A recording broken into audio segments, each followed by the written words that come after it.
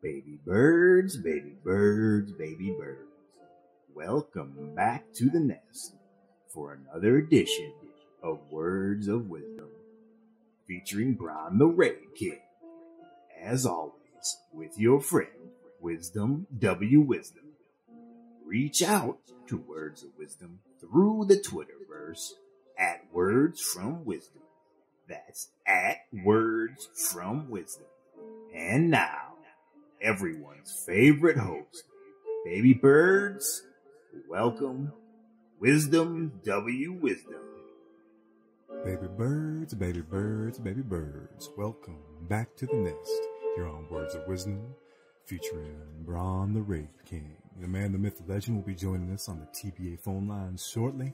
In just a quick minute, we're getting them connected, squared away. We've had a couple technical difficulties today, but we're hoping to have that all wrapped up and taken care of for the remainder of the show. All right. And don't forget, y'all can find us on YouTube. Team C&D. Search Team C&D. Like and subscribe. Give us those thumbs up, baby birds. We love them. We like them. We feed on them. That's what sustains us. Sustains us through the week. Those thumbs up. Mm-mm-mm. Finger licking good. Find us in the Twitterverse at Words from Wisdom. Please stay in our DMs, stay in our mentions. This is how you communicate with the show. This isn't just my show. This isn't just Braun's show. This is our show. Baby Birds, you need to keep us in check. You need to tell us what you dig, what you don't. If you got segments that you like ideas for, don't forget, we're still looking for more movie ideas. Bring in those movies for the improv movie segment. We're going to kill it, going to bring it. We're going to tear it all up. Keep sending those in. And you can send those in via Twitter or words of wisdom at teamcnd.com. That's words of wisdom at teamcnd.com. Yes, we got an action packed show today. We're going to do a lot. We're going to talk about Riot Games a little bit for a quick minute, five, ten minutes here or there about Riot Games and what it's doing and where it started and where it's going. We're going to talk about e-games a bit too. We're going to talk about e-games, the leagues a little bit, not too deep, not too horrible. We're just kind of scratch the surface of where they started and my personal experiences and Braun's personal experience were there. A lot of you baby birds probably didn't know that old Wisdom W Wisdom back in the Disney around the 2002 to 2007 range used to sponsor some e-game teams back in the day. I did not manage them. I had a manager and I just put forth the money, but I got to kind of dive into the early stages, the infancy of e-games and how it changed. So we're going to talk about that in the later half of the show. So that should be a good time for all y'all.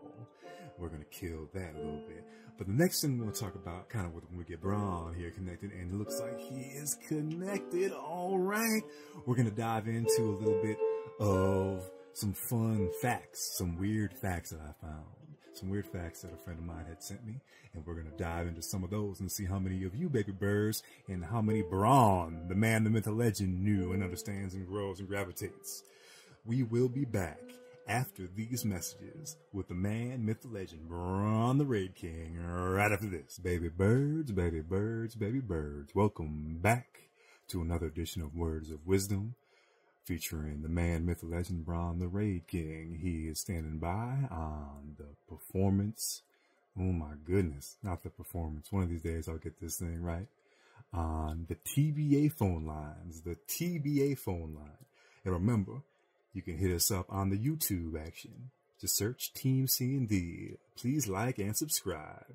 Hit us up in the Twitterverse at Words from Wisdom. Stay in our mentions. Get in the DMs and throw in your gaming grab bag questions or your life questions or just any random thoughts you got towards myself and Braun. You could let us know how we're doing or how much you hate us, how much you hate the sound of my voice, that you can't stand the rhythms and the bass and the beat just flowing with it, and you can't stand how squeaky Braun is. You just can't stand it. All right. Let us know. And that's words of wisdom at teamcnd.com. That's words of wisdom at teamcnd.com. And with that, we will bring in the man, myth, the legend, Braun the Raid King. What's going on, baby bird? How you doing, brother? I'm doing all right. I'm trying to get excited for baseball, but as a Mariners fan, it's like rooting to. It's like wanting to play Battletoads on Nintendo. It's just just beating yourself up for no reason. Well, I can talk about Battletoads. I love that game, man. That was a great, great game. You did not love Battletoads. You did not. It was. See, that's the last time games were difficult The Nintendo games. Hold on a second. Let's let's investigate this before we get into the baseball thing. I'll address that as well. But let's investigate Battletoads and the original Ninja Turtles and stuff like that. Not the arcade sky side-scrolling game, but the original one that they had in there. Very difficult. Were they just difficult because we were 12 years old, 10 years old, 8 years old, or were they physically harder to play those games?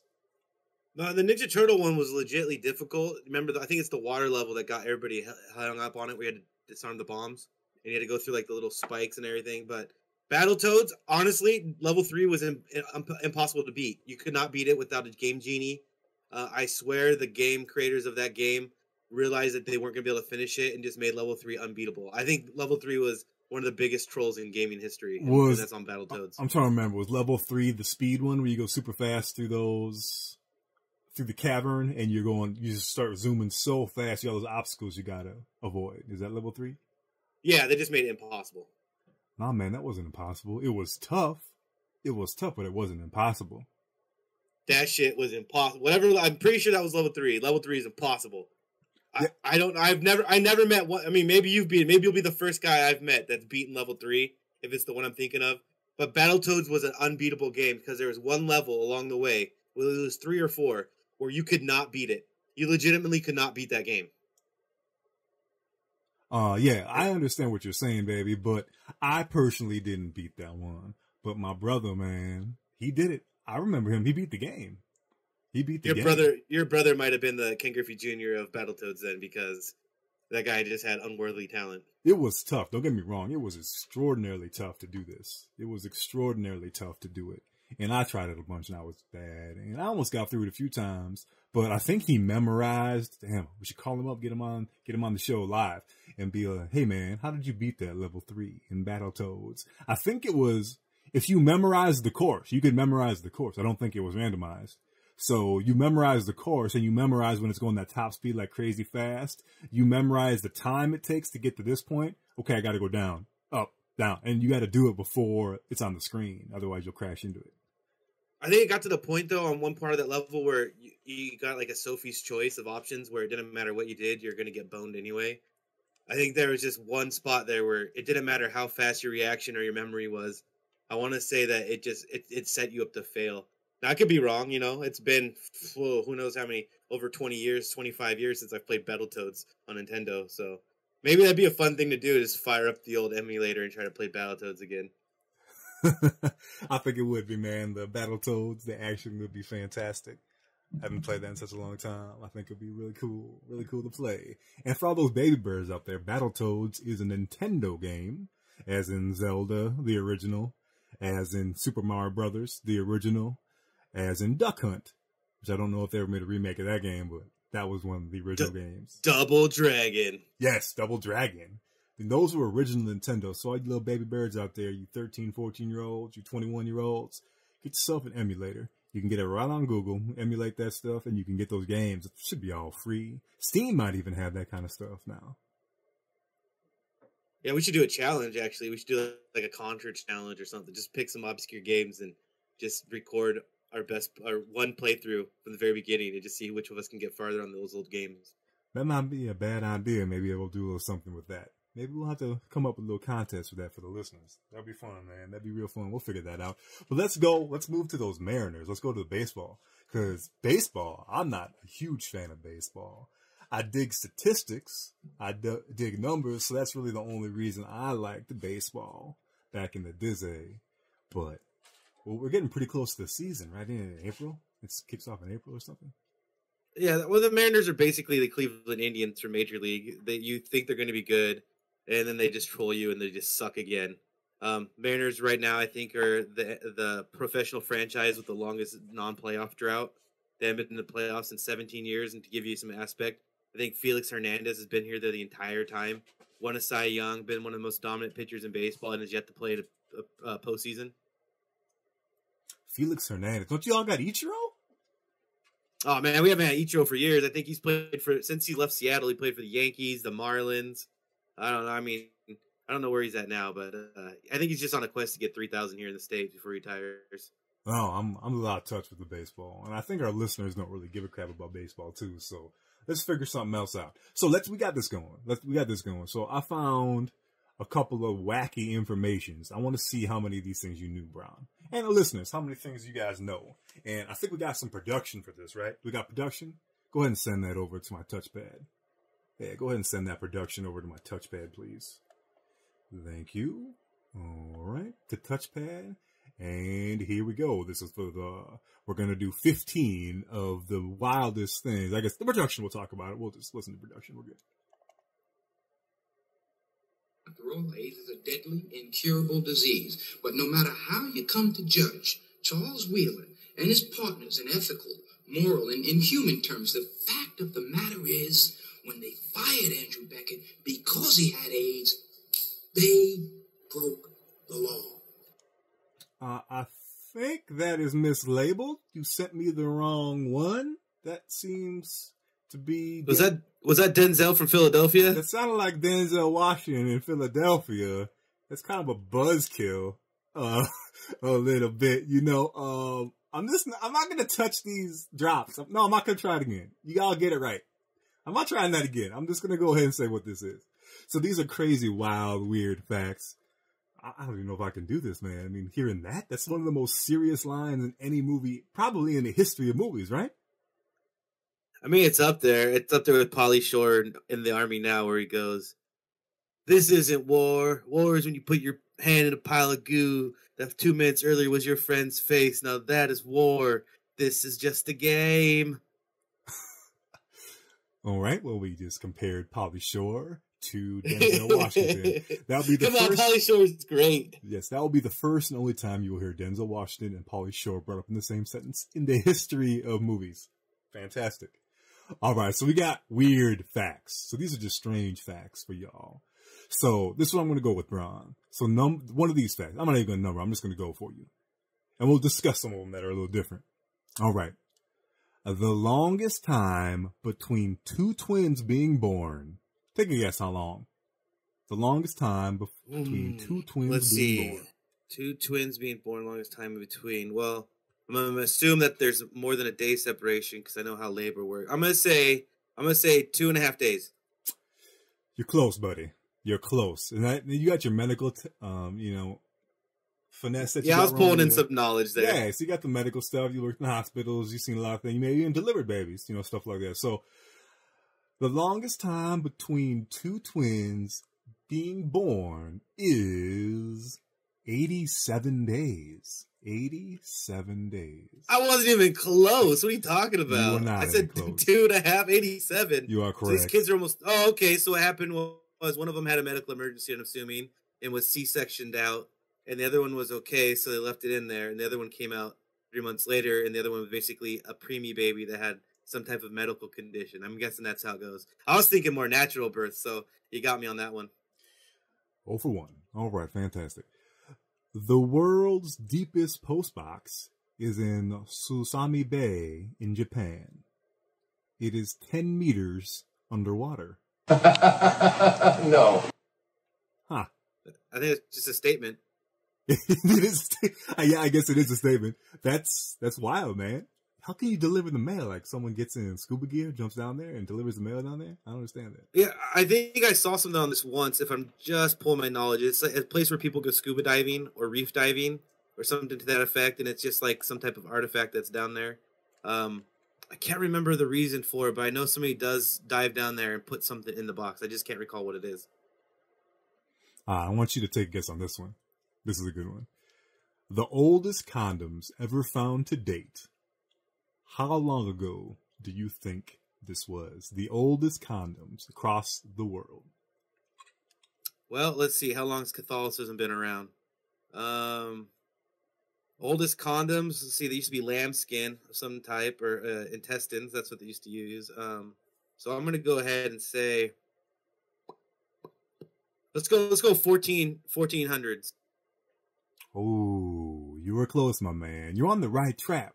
The oldest condoms ever found to date, they date back to 1640s. They were found in a cesspit at Dudley Castle and were made from animal and fish intestines. So you were right on the right track. Yeah, but it was unopened in some guy's wallet. The poor bastard.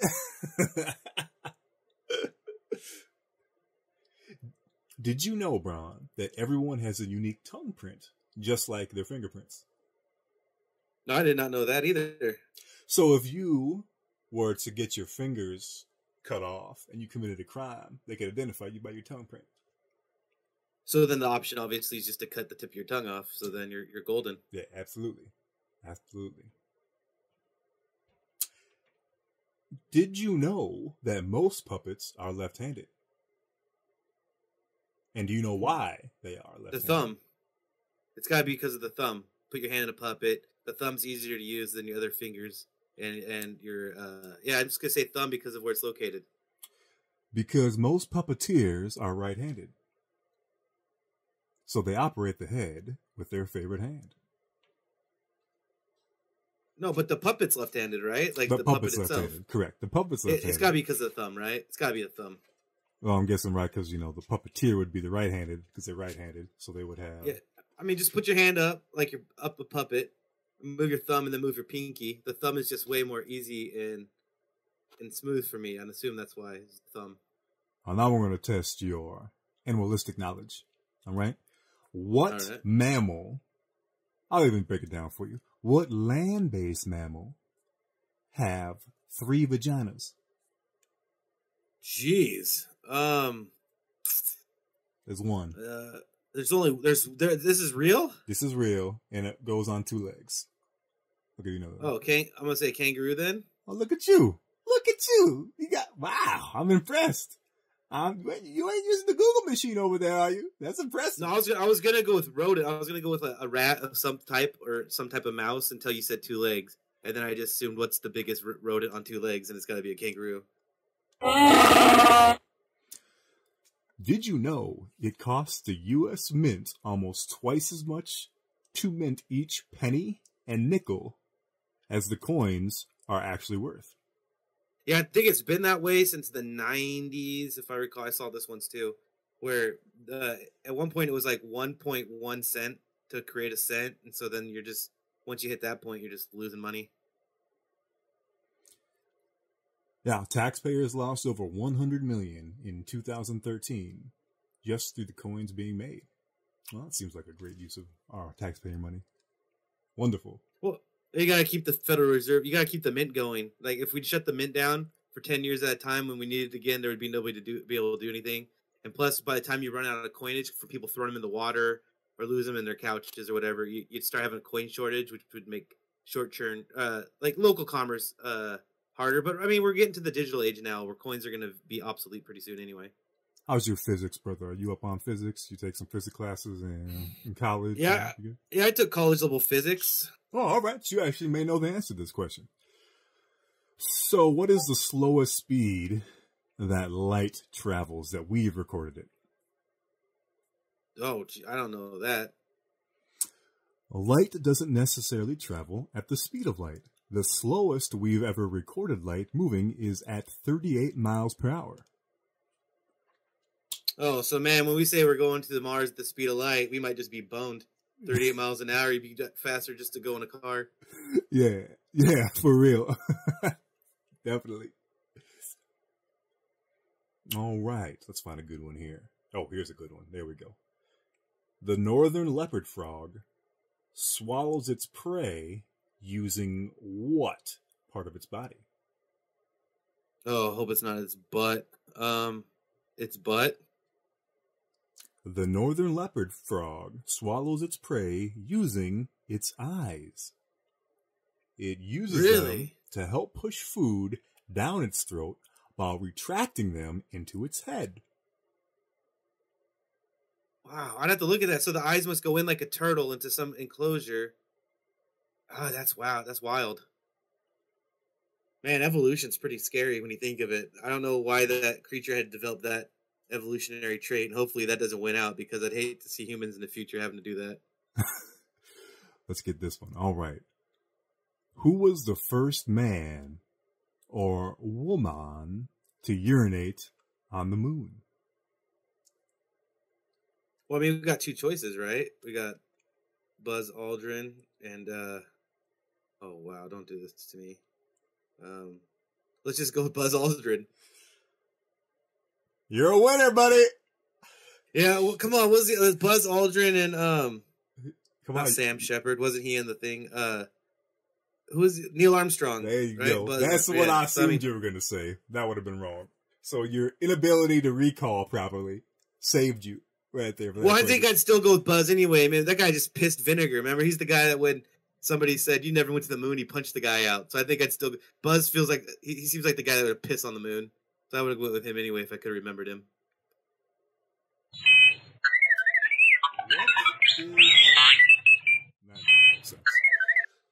Some fruit flies are genetically resistant to getting drunk, but only if they have an inactive version of a gene scientists have named question mark. Uh, ethanol gene, something with ethanol, maybe. Scientists have named the gene happy hour. Oh, okay. Well, that makes sense. So I mean, so now they're just gonna leave crap in your drink and not get drunk. That's not fair. In 1567, the man said to have the longest beard in the world died after he tripped over his beard running away from a fire. Yeah, he just might have been a catch twenty two. I mean, if the fire is bad enough for you have to run from it, as opposed to just walk, calmly walk away from it, uh, you're probably pretty pretty much screwed anyway. So, um, I don't know how old he is, but he probably would have died soon after that anyway. Well, he tripped on his beard. Man, like, I, I don't know how you get it that long without having some ability to like swing it over your shoulder or something. That would be rough. There's a cat that has the longest hair in the world. He wears a turban esque head device where he wraps it all in there. I believe it is 35 feet long of dreadlock or something like that that he has. Pretty impressive. It weighs like 40 pounds. He carries around in his head. Is the did he grow his hair that long because of a religious belief, or just because he wanted to be the guy with the with the longest hair? He just, he says he just went ahead and started letting it grow. And there was no particular reason, no particular angst. He just never wanted to get it cut. Yeah. The reason why he said Yeah. he didn't want to get it cut was he once went to a barber in his teens and he didn't like how the barber cut his hair and he never went again. I mean, that sounds rational. I think I think it's time for him to get over it and just get his hair cut. Why doesn't he cut it himself at this point? That's a good question. You know, you could just cut it yourself. For real. I, I'm with you on that one. All right. So we'll do one more of these bad boys. We'll do one more of these bad boys. So this is a good one. I don't think anyone's going to, I can't even say this as a question because there's no way you're going to get this, but it's interesting. The dance fever of 1518 was a month long plague of unexplicable dancing in Strasbourg in which hundreds of people danced for about a month for no apparent reason. Several of them danced themselves to death. Hmm. That's just strange. So they just unexplicably just started dancing, and they just couldn't stop dancing. It was probably some some globalist weapon being used on them or something like aliens. You know, what problem was that's not the only thing that's strange that's happened back about that time period was there's another story of in Warsaw, the mayor of Warsaw is walking down the street, just walking down the street ringing his bell. That's what he does every morning at a certain time, I 8 a.m. Walking down the street of Warsaw, just like any other day, and some people gather around and just say hello and blah blah blah. There's about 20, 25 people around the area seeing it. He walks the middle of the square, bangs his whistle, his uh, his bell in the middle of the square, and explodes, spontaneously combusts, just blows up like a bomb in the middle of town, and shoots himself all over all the spectators and all stuff, and he's just gone, blows them up. When when was this? This is, I believe, was in the 1600s or the 1400s in Warsaw, the mayor of Warsaw. All right, so Europe. there's no way it was just an old latent mine that he stepped on. It was no, uh, this is no, he didn't even spontaneously combust. He spontaneously exploded. Yes, he literally exploded, is what the historian books say. Whether they're true or not, who knows? There's no pictures back then, right? Other than ones people What do, what do you think the odds are that he just got hit by a meteorite or something? He just happened to be in that one spot. Fate just said "f you, guy." Yes, he could have, right? People wouldn't have known what it was, so they just would have said he blew up. Something Exactly, like that. yeah. that's that's possible. There's another one that's that's very stranger. I cannot remember the name of this one, so it's a little unhinged. But about around about the same time, 1600s, 1500s, it strangely started to rain herring, the fish. In yeah this is this is a common thing this happens actually more often than people think especially with like uh also happens with frogs but fish it's basically what happens is a tropical storm or a um, hurricane or or some type of waterborne tornado will pick up a group of things funnel them all up into the sky because they're light and then drop them down sometimes miles and miles away from the original spot So what you're telling a brother is there's Sharknado one, two, three, and four by the Sci-Fi Channel. That this could really happen. That we're gonna need Tara Reid to save us from Sharknado. You gotta worry about that stuff. You're on the West Coast. So you're telling me Sharknado, Sharknado, Sharknado, Hurricano, whatever can actually happen. We gotta worry about sharks from the sky eating us in midstream. I think it's more like trout NATO. I don't think a shark, a group of sharks would be in one position in large enough quantities and be small enough to be pulled up by something like that. Uh, they're usually, uh, if they are in schools, they're they're not going to be big ones. The big ones are usually isolationists. So I'd assume that Sharknado, and it's the and it's the uh, the what was it the the qual- quantity of NATOs in Sharknado. No, maybe a trout NATO now and then, but I don't. I think we're safe from the Sharknados. Whoa, um, that's good. Cause sharks, we saw seen Jaws when I was a little kid, man. Sharks have just scared the bejeebus out of me. And I love the water. Like I dig the water. I was like a little fish when I was a kid, swimming in the water all the time. But I'd always get hesitant in the ocean, just because I seen Jaws, dog. So you just really, really, whew, that's a relief off these shoulders. And my goodness, my shoulders can use it. That relief. And that fantastic segment was brought to you by Puria Aqua Springs. Don't grab a soda. Don't grab a juice. Grab a natural, purified, delicious, refreshing, relaxing Puria Aqua Springs. There really is only one choice. Grab a bottle of Puria Aqua Springs at your local mart today.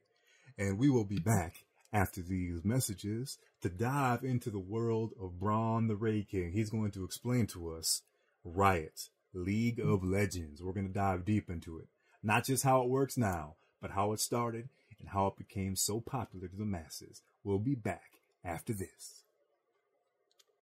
It's time for your information update. In 1923, jockey Frank Hayes won a race at Belmont Park in New York despite being dead. He suffered a heart attack mid race, but his body stayed in the saddle until his horse crossed the line for a 20 to 1 outsider victory. Yeah, that shouldn't be able to count. That shouldn't count for one reason. His dead body flopping back and forth is like the biggest hit to a horse you could ever get, right? You want to make when they try to make the horse go faster, they smack it, right? His dead, just lifeless body just smacking that horse just caused that horse to just go into the unearthly next gear. So I don't, I don't think that I don't think you should be able to die and uh, win the race still. You know, but I think there's a there may be now after that after Jockey Frank Hayes won the race after that uh, there might be rules now, but there was probably new, no rules ins- instituted for that at that point, right? So you just got to roll the punches. If a brother dies and you got to you know run that horse, you just run in the end. You know that maybe the horse loved the jockey so much, sensed there was something wrong, and just ran to where it knew it could get help. You ever think of that, Ron? Maybe the horse. Oh, just trying to run the finish line to get medical attention. Yeah, you ever think of that? Because horses do. Maybe, hey, maybe. Animals do feel. Let me tell you this. I fell down. You know, I had some medical issues a little bit. So I was walking my dog the other day and it's icy and there's snow all over the place. And he went over a snowbank and he went, you know, went wild a little bit. He was going good. And it's no problem. I went over the snowbank just walking and I fell over. And the first thing that dog did, he stopped chasing whatever he was chasing. He ran back as fast as he could and basically jumped on me and started licking me in the face, making sure I was all right. Because the dogs and animals just know when something happens, they can feel it and they will be there for you. I mean, may, I don't know. It's just a. How would he know? I don't know. I guess maybe you're right, but it's just a dead body on the back of a horse, man. I don't. I don't know how to. A dog see you fall. I guess you're right. I'm trying to. I'm trying to rationalize it away somehow, but I. I think I could come back to your your take on it. I would like to apologize, ladies and gentlemen. We're having a few problems with the TBA performance line. The TBA phone line right now with a you can hear Braun's connections a little wild, Ricky Ricky wild.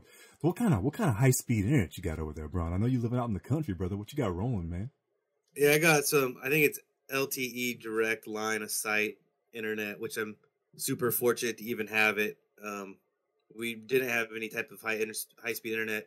We were basically on the slowest possible DSL, which you couldn't play much of anything, let alone watch videos or anything. But I got lucky having this property up on top of a hill with a giant tree, and um, I got me some internet That seems pretty- finally. What did they have to do anything special to make this work? Like how did you? Yeah, they, yeah. I saw a company when I was driving through this little town near where I live, and they had a sign saying "Breeze Wi-Fi high speed internet." And because of where we live, every time anybody says anything about internet, I, I call them to see if there's a possibility. I'm waiting for like I was waiting for like Facebook to get their little micro satellite or Elon Musk gets micro satellites or Facebook to get their drones flying around, but um, I contacted these guys and it was like I didn't hear nothing back for two weeks, so I figured it was probably a non-issue. And then my dog started barking one day, and I go outside and there's a guy saying he was there from the internet company, so I get all excited. And we're looking around the property for trees to put it on, and he's not really finding any trees that would work with the line of sight to where I where I needed to go. And I remembered that we have this giant hundred foot tree basically in the front yard, right in the very corner of our property. And so I asked him about that one, and he couldn't believe he missed it. But he brings his little drone out there, flies the drone up the tree. Wait, looks this at guy's a drone? Yeah, uh, like a like one of those personal drones, but it was like a really fancy one. I'd never seen anything like it. Um, he flew it up there. It showed like the altitude and everything of where he was at, and then he flew it over to neighbors. You could see the the city through two valleys. Luckily, this tree was in a position up on a hill where we could see down into the city that was eight miles away. And uh, the next thing I know, they're they're climbing the tree. They're putting up like a, a, a radar dish out there, or a dish of some type. People probably know more about this than me. And uh, now I have basically a living antenna out there where now all my neighbors are trying to get them to come put their internet up on my tree, and I'll probably end up being able to get my internet for free and some money on the back end because I basically have like a um, a Wi-Fi tower now on my property. So uh, I'm getting that now, and that's what allowed me to get back into this. And right about the time we got that, um, everybody started hitting me up. You guys started hitting me up with Pantheon stuff, so I'm I'm back in the fold because of this internet. Well, thank you so much, drone. I didn't know drones were this drones are taking over the world. Technology. That's for another show, but this is this is getting wild. The stuff that's happening. It's just wild. But let's let's let's table the technology spiel and let's hit up. Cause we only got about twenty minutes left. Let's hit up Riot Games. Let's hit up League of Legends. Let's start at the beginning though. Let's start at the beginning. Let's not just dive into where it's now. A lot of us, a lot of the folks that are listening to the podcast, all the baby birds out there, they understand that e-games are huge right now and they're getting bigger and bigger. Schools are giving scholarships away for e-gamers and all that kind of jazz too. So it's pretty cool stuff. Finally, gaming is paying off in a big, big way. But let's say where it started. I remember playing, I haven't played League of Legends in forever, but I remember playing that, was it six years ago when the beta was out and was playing that? I, that's when I started, man. So why don't you just start us out, Braun, on your travels through League of Legends? What, what, where did it start? How did it start? Well, let me back up. I played uh, the original Dota back when it was on Warcraft 3 mod, and I played that for years. And then when it went to um, the newer version, then went to Frozen Throne, and Frozen Throne had a newer version. So I was there from basically in Dota from the beginning, and then I played Heroes of Newerth. Well, then I lost the internet and couldn't really play any games out here, but we did have 1.2 speed DSL, which I ended up finding out I could play League of Legends. It was like one of the only games I could play out here without basically lag spiking the entire time. So I started picking that up. I've only been playing that for I think a year and a half or so, and um, so that's about as much. As I don't really know the backstory other than it was a MOBA that was designed after Dota, and uh, but I'm enjoying it. I find it to be a lot more fast paced than Dota, whereas Dota has a lot of other skills that you need to have. I, I just like the speed and the reactions you need in, inside of League of Legends. It's almost like a MOBA fighting game to me. I got you. I got you. I played in the very, very beginning when it was just, uh, like I haven't played in the last three years really. I played when it was just Twinkle in Riot's Eye, when there was, wasn't that many people playing at the time. It was in the beta. They were still redoing a lot of their classes. And I only played two, two characters. I played Blitzcrank and I played Ryze.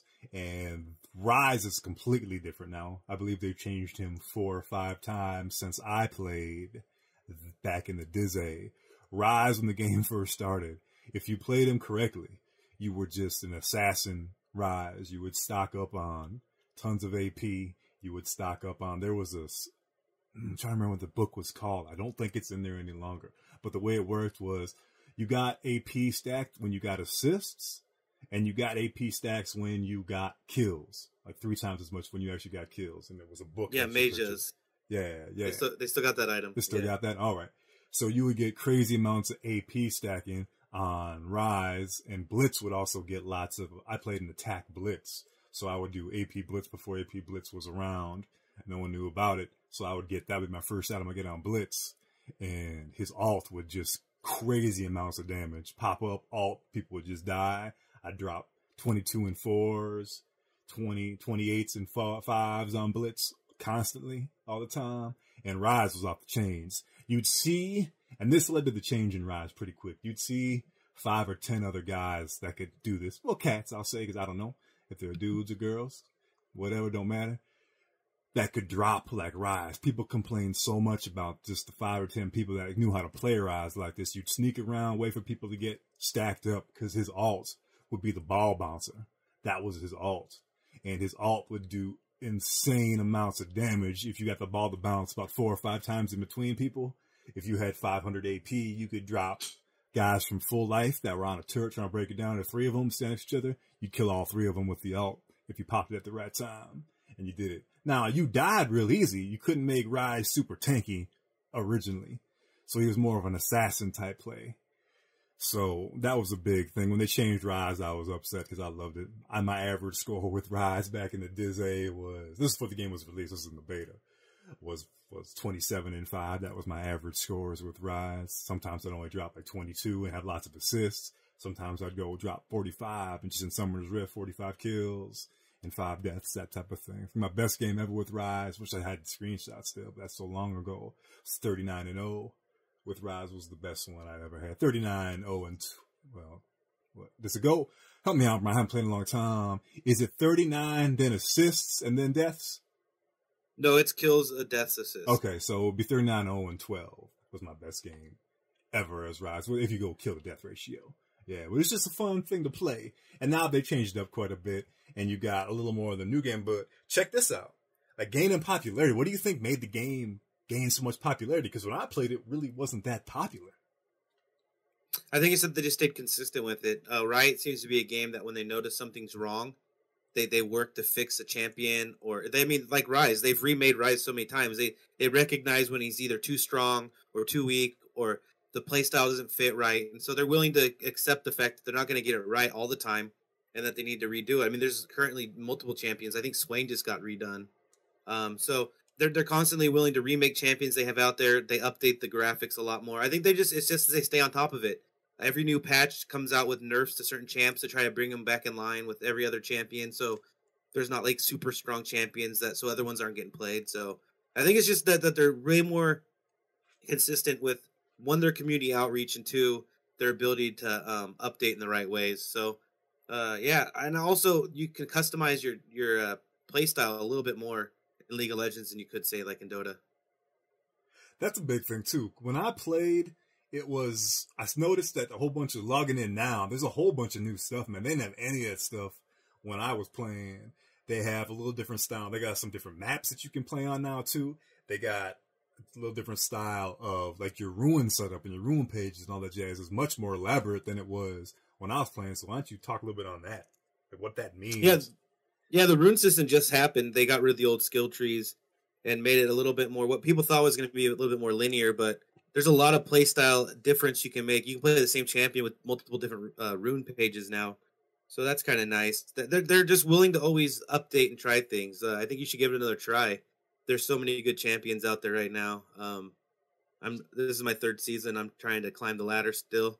So I'm currently in the silver, top of silver. So trying to get into that gold this season. But yeah, it's just I think they're just they're just it's just really well done.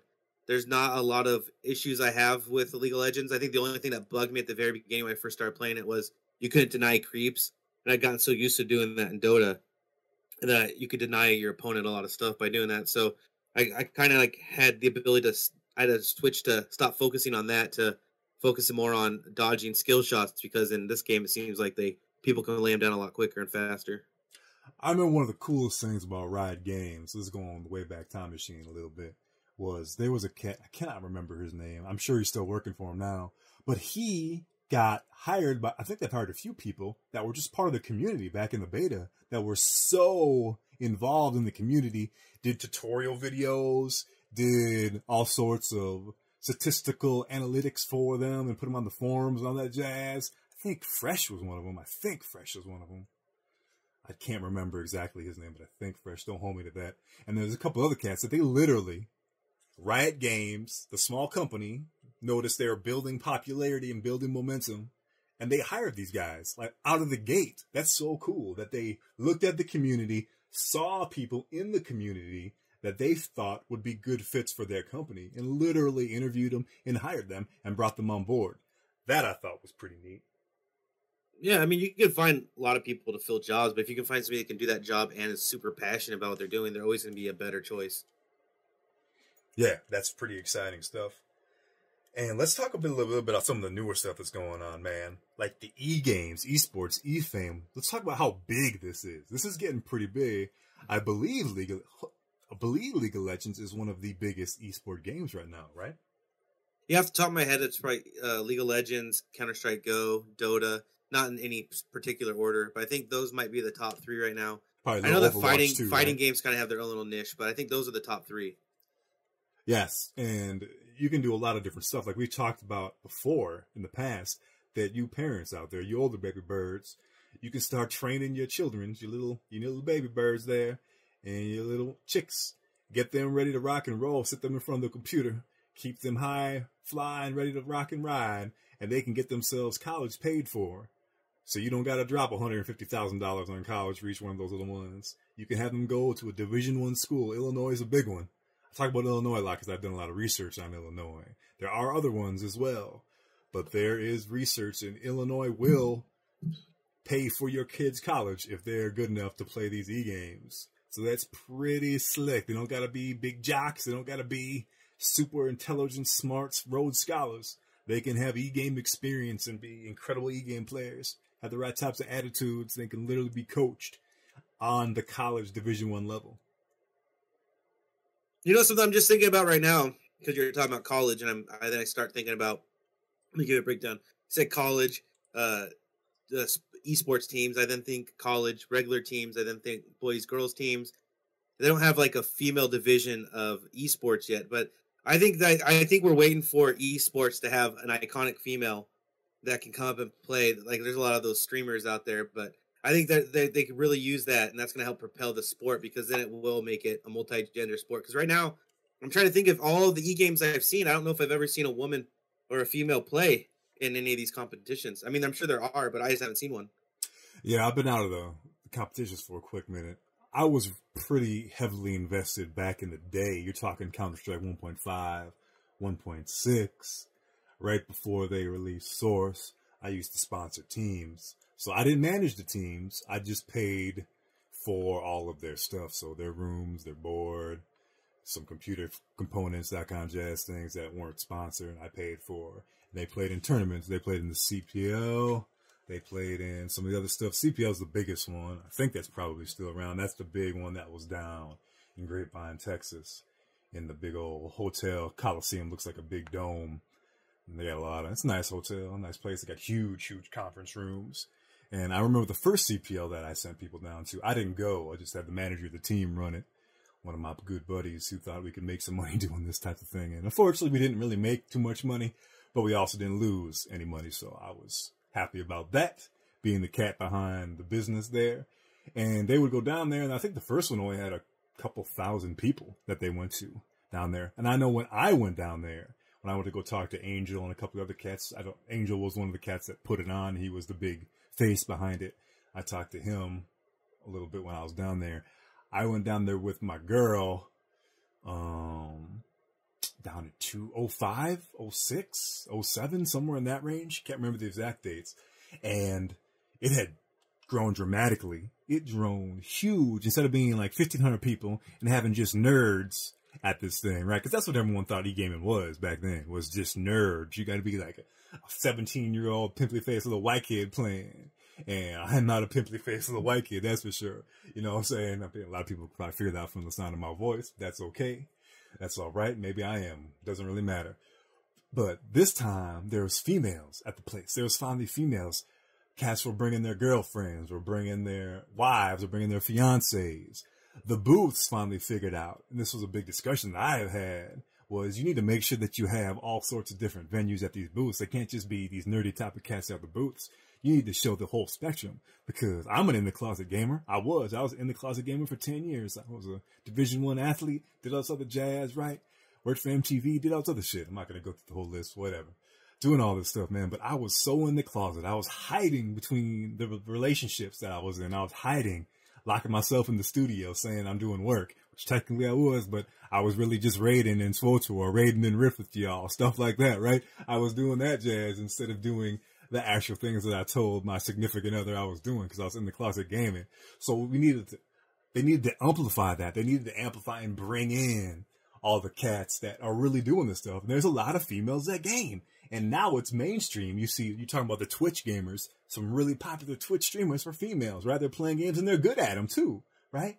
They were doing it back then too. It just was kind of like in the closet. No one really wanted to talk about it. No one wanted to bring it all out. So when they started influxing that into the booths, having ladies at the booths, having people with the cool sunglasses at the booth, having people that are just a little more hip looking at the booths and in the crowd that are playing, it really brought about a more advertisable, a more significant, a more intense role on the actual community of all of us seeing games. ESPN, Braun, I don't know how much you look at this. ESPN on the podcast list has e-game podcasts. You know that? No, I didn't know that, but that makes sense.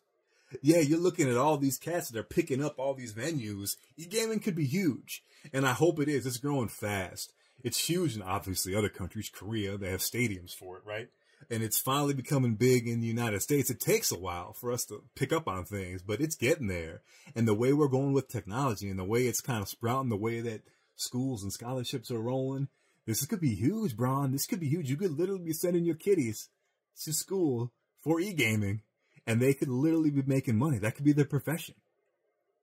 Yeah, I think it's just that we live in a stigma society. And so things like video games had a stigma and it takes something like CPL and eventually it takes money to legitimize it and then once it's legitimized it's mainstream and then it doesn't matter who you are if you can if you enjoy it or you can perform in it it's mainstream it's legitimized and the same thing happens with Comic-Con. I go to, I went to Comic-Con one time in San Diego and we lived in Vegas and now I've gone the past 3 years in Seattle and I'm going to go to the Seattle one again this year and you see a lot more women now than you ever would have and I think it's just because stuff like conventions also de- destigmatize things. You go there and you see that, oh no, there's lots of other people here. Plus, you know, the movies don't hurt. The fact that everything from your childhood that used to be a comic book is now getting remade into a movie doesn't hurt uh, drawing in different fan bases. But yeah, I think it's just a stigma. Um, you're, you're going to see e games get bigger and bigger as the stigma of a kid sitting in the quote unquote guy sitting in the basement.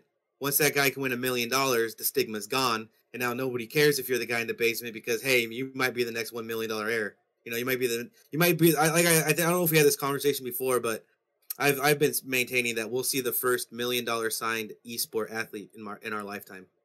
Yeah, I would like to see professional leagues soon pop up.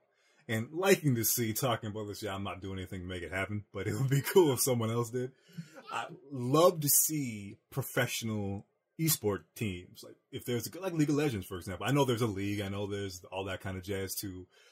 But I want to see it hit mainstream. I want to see it on the ESPN. There's so many channels. They had the Ocho going for a quick minute. Let's get ESPN, E Games. Let's get these things on the screens. Let's get these things closer to the masses. Let's get it more like Korea does it, where everybody sees these things. I want a channel where you can flip on the TV and you can see these teams, these games in their jerseys with their team managers, with their team owners, professional, legitimate type business. And that was the hardest thing before back in the day. It was so hard to keep these teams together and to keep these players going because there wasn't really legitimacy to it, to be honest with you. And I was there. I know what I'm talking about when I'm saying that. I'm talking in the early stages. It was very, very difficult for this to work. I couldn't even tell you how much troubles my manager had doing keeping those kids together, keeping these guys together. It was it was tough. It was really tough. Well, there's not really a channel dedicated to esports yet, but I, I don't remember if it's TNT or T, TBS. But one of those channels actually has on Fridays an E League segment that's usually an hour, two hours long. And last year I watched uh, a Street Fighter tournament, the new Street Fighter tournament. I watched uh, a Capcom Street Fighter tournament. I watched uh, the DC, was it Immortals, the Batman Superman fighter game.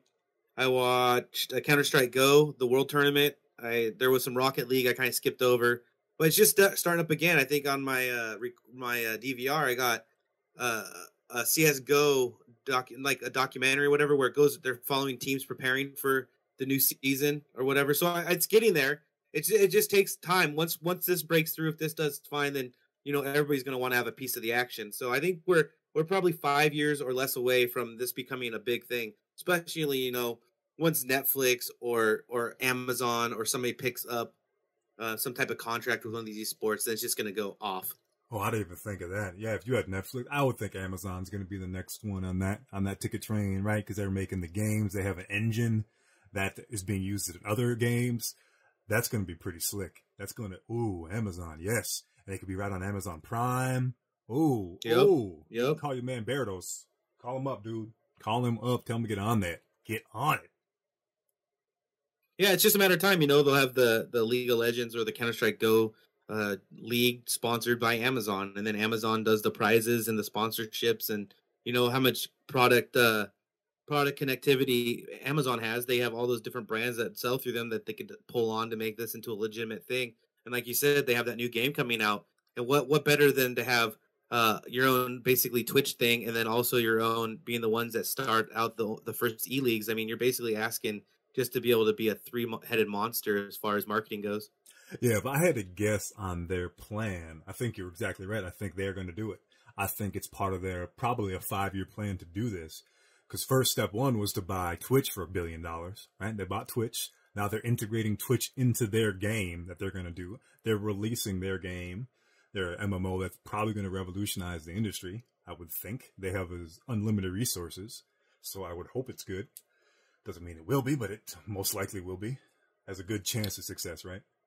Yeah, how about this? I just saw a thing this morning uh, that Twitch, the site, has surpassed CNN and MSNBC in viewership.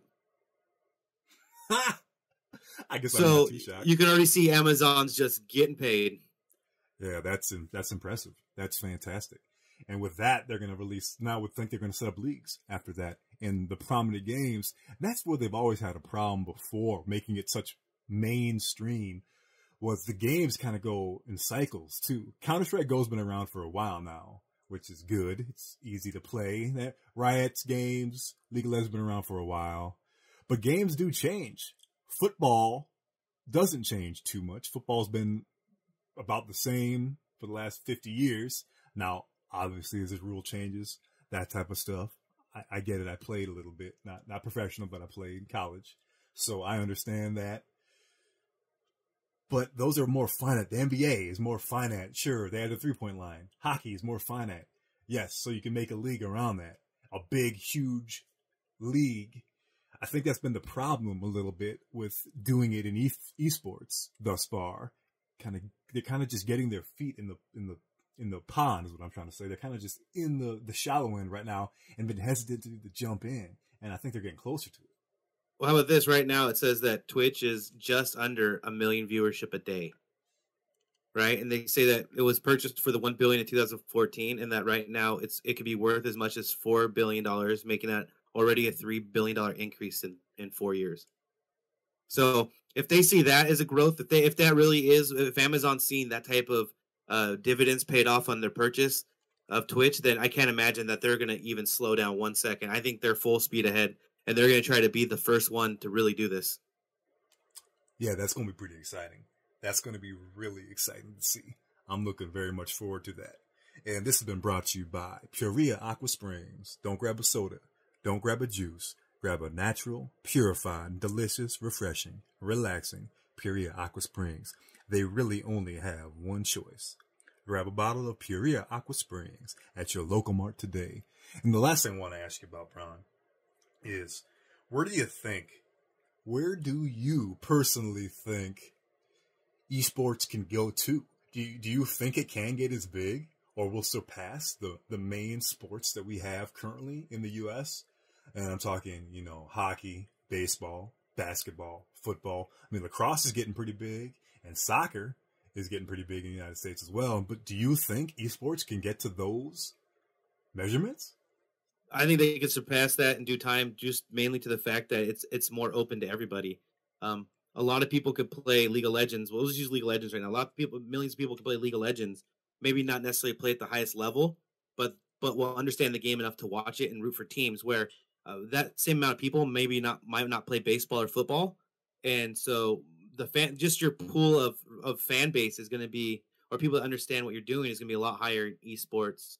So I, I think that esports eventually could easily surpass uh, physical sports just because of the amount of people that could participate potentially in the lower levels of each e game. And let's not forget when you talk about e games too, and we talked a little bit about this in the past, Braun and I have, and that is mamas and papas, don't worry about your baby birds with playing the computer, that kind of stuff. Because e-gamers, if you want to be a real e-gamer, it's not just playing computer. You got to do other things too to keep your mind sharp and your body sharp. They have proofs and they have studies and they have all sorts of stuff already online about e-gamers regiments that you can go into, right? They want you to be in good physical condition. You're not talking about you're not going to be in basketball shape, but you're going to be in good physical condition. Look at all these e-game teams. You don't see a bunch of fat guys running around or that kind of jazz. These are skinnier, you see more muscular, you see more cats that are in shape every year that you look into these e-game things. So don't just think everyone's going to be sitting there with their Captain Neckbeard action going on, you know what I'm saying? And their Doritos. No, no I mean, esports are going to, it's an endurance sport on, on every level. Um, these tournaments are usually really long. There's a lot of endurance with it. The better shape you are, it's just been proven that your concentration will be able to hold longer your fatigue will will take longer to take effect and you're going to start just seeing a lot of these guys that you're going to be seeing these esports especially at the college level they're not going to be any they're not going to be big guys um plus just the the regime these guys go through there's i don't think you really have a lot of time to eat food because they are practicing 10 hours a day 8 9 hours a day on top of you know going to school or having a job so really i think what you're seeing is being an e-gamer while uh, you might not have the cardiovascular health you need, you definitely won't have the obesity problem. Yeah, absolutely. And with that, we're running out of time, baby birds. So if Braun has any last things he wants to get off his chest to the baby bird nation, the words of wisdom featuring Braun the Raid King. What you got, brother? You got anything? Hey, everybody out here right now in America, it, we're in some, we're in what I call the trying times. I think every year it's always trying times, but let's just remember we're all Americans and we should all be in it for it together. And with that, baby birds, we will be back after this to close out the show. Baby birds, baby birds, baby birds, welcome back to the nest. We're going to send you out the same way we always do with a little something to ponder as you flock away for the week. Don't forget to find us on YouTube at Team CND, like and subscribe. Find us at Words from Wisdom in the Twitterverse. That's at Words from Wisdom and words of wisdom at teamcnd.com. That's words of wisdom at teamcnd.com. Baby birds, I will leave you with this to ponder. When you are lonely, I wish you love. When you are down, I wish you joy. When you are troubled, I wish you peace. When things are complicated, I wish you simple beauty. When things look empty, I wish you hope. And with that, we are done. Baby birds, until you flock back to the nest. We are out of here.